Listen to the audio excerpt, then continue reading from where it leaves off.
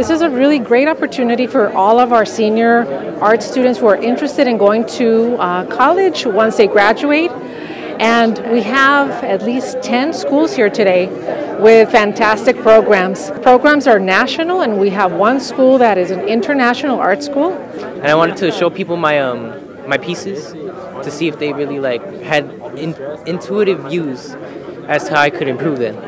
I'm hoping to learn what I can improve in to become a better artist seeing like all these colleges and having the school district like put them out in front of us is like really beneficial, especially because like I'm not really sure what I want to do with my life.